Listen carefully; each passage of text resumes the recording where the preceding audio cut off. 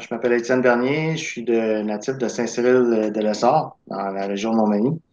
Euh, en 2015, j'ai fondé, 2014, j'ai fondé Crazy Sports avec euh, un de mes amis, Sylvain Gagnon, qui, euh, qui est également de, la région, qui est de l'île sur mer. Euh, c'est ça, ça fait. Ben, au départ, l'objectif de, de, de, ce projet-là était justement de développer une plateforme qui allait devenir reconnue au niveau nord-américain puis également en Europe.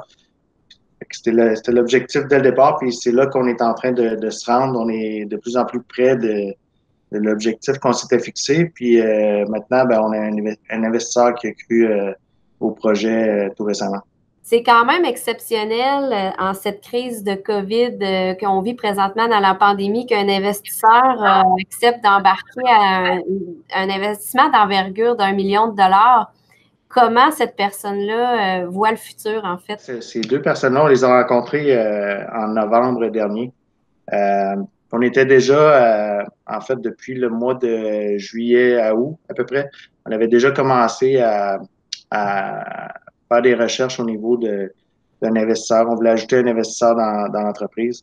Ces gens-là, on les a rencontrés en novembre. et comme je disais un petit peu tantôt précédemment, la chimie a été super bonne au départ.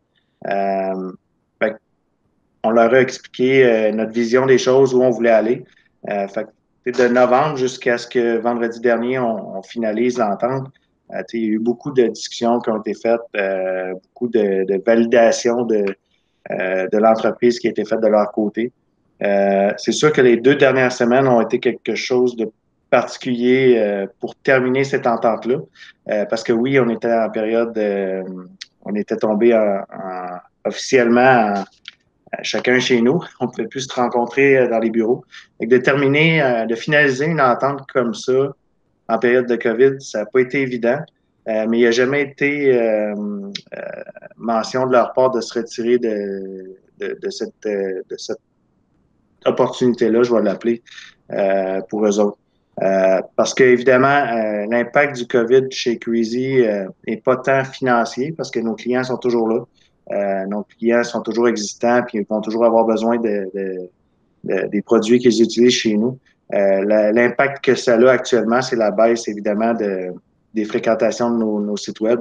Il y a beaucoup moins de personnes qui, qui naviguent sur les sites des associations sportives puisque tout, tout est arrêté en ce moment. Euh, sauf que euh, pour avoir parlé à la majorité de mes clients, euh, il y a une hâte de retourner à la normale au niveau du sport, surtout pour les jeunes. Je pense que d'après moi, là, au jour 1 où les, les, enfants vont pouvoir retourner dans les arénas, les parents vont se dépêcher d'aller les amener à l'aréna pour qu'ils puissent libérer de l'énergie un petit peu. Ça consiste en quoi exactement? La plateforme, en gros, euh, ce qu'elle permet de faire, c'est la gestion soit d'associations, euh, de ligues ou de tournois euh, pour le sport amateur. principalement dans les sports que, que, tout le monde connaît un petit peu plus, le hockey, le baseball, le soccer, basketball, football.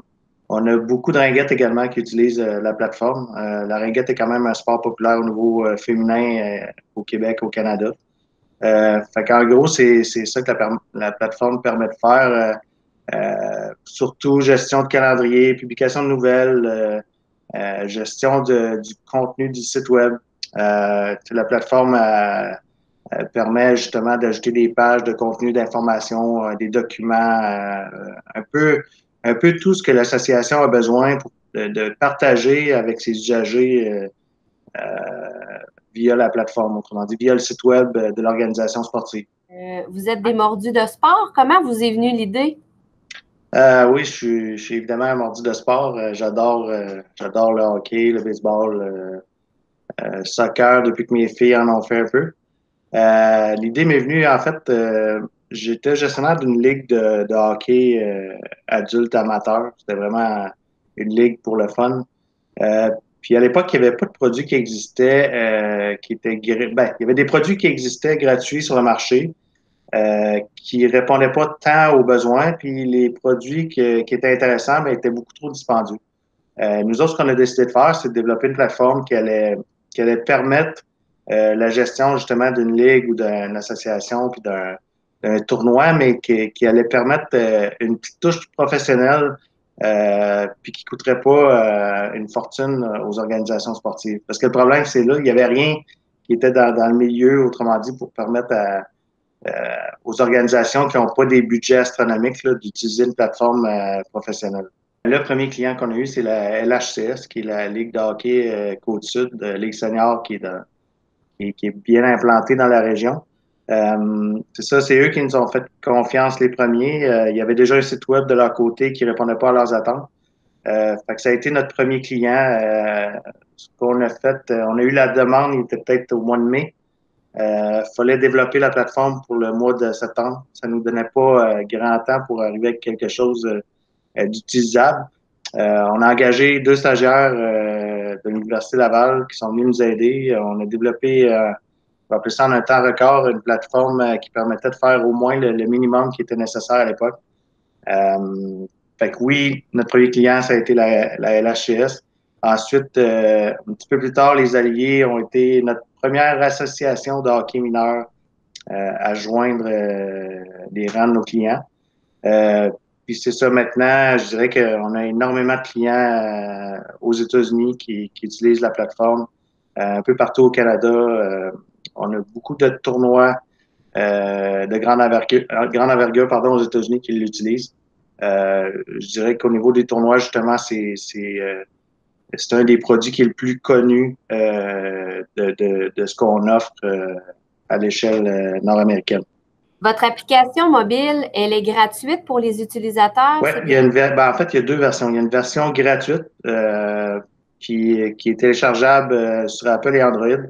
Euh, ce que ça permet, c'est aux, usagers, souvent les parents des enfants qui jouent dans les, associations de hockey mineur, les tournois, les ligues, et ainsi de suite. Euh, ça leur permet de consulter l'horaire via l'application mobile. C'est plus facile euh, sur un téléphone avec ça que, que d'aller directement sur le site web. Puis à ça, on a ajouté une version premium qu'on appelle, qui est seulement 2 dollars pour six mois, et non pas 2 dollars par mois, mais vraiment pour six mois. Euh, qui permet de recevoir des notifications euh, par rapport euh, au match qui s'en vient, si le match est complété, il y a une pratique ou ainsi de suite.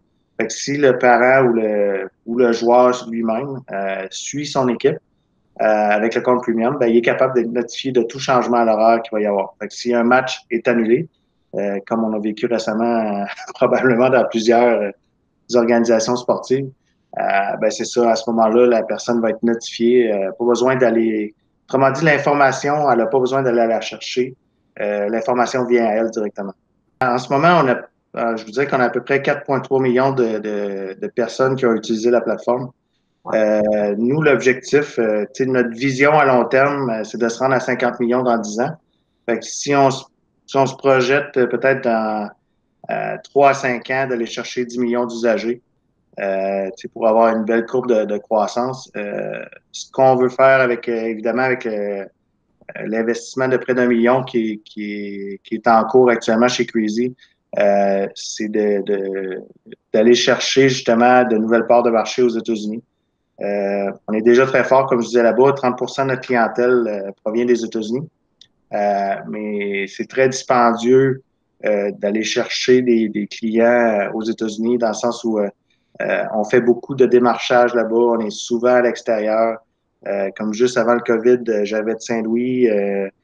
Au Canada également, on se promène beaucoup. Toronto, c'est un des marchés très gros pour nous autres. beaucoup de hockey là-bas, beaucoup de sport. C'est une, ville de sport. fait tous ces déplacements-là, ça entraîne des coûts assez exorbitants. Donc, c'est ça, l'investissement de, tout près d'un million qu'on fait en ce moment va servir justement à ça, euh, aller continuer à faire euh, euh, de la prospection de clients aux États-Unis puis dans le reste du Canada pour pouvoir grossir ce nombre-là puis atteindre notre objectif là, dans notre vision à long terme. Ben, en technologie, le, le, défi, c'est la rapidité d'exécution. et on peut plus de nos jours se protéger de, se faire voler notre idée ou se faire voler euh, notre processus, par exemple, euh, de la manière dont on gère euh, une partie de hockey ou peu importe.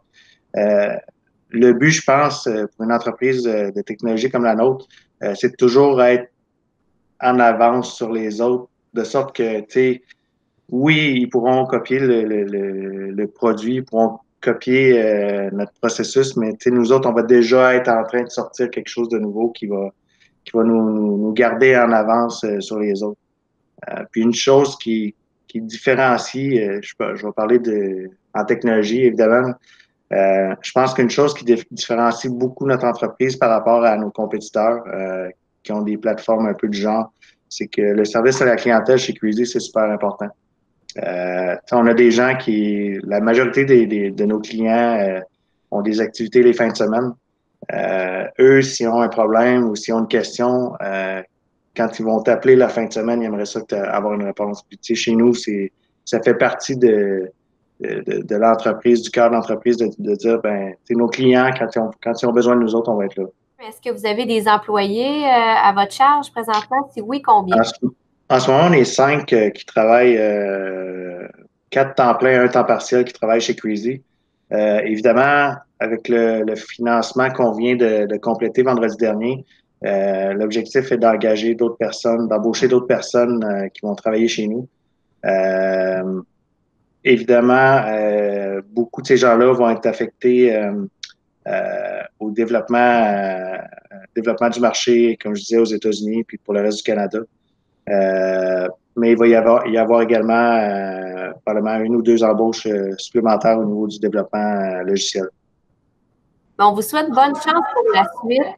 Euh, on est très heureux de voir que des euh, gens de la place euh, sont capables de faire leur marque un petit peu partout à travers le monde.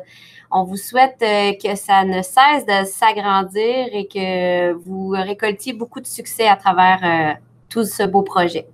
Merci, merci beaucoup. Merci. Ça fait plaisir, puis au plaisir de se, de se rejaser oui. quelques temps. Oui, tenez-nous au courant des développements. Absolument. Merci. Merci. Bye bye.